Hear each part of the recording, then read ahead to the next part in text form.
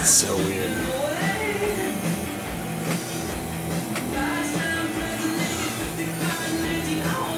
Got the firmware right? Yeah.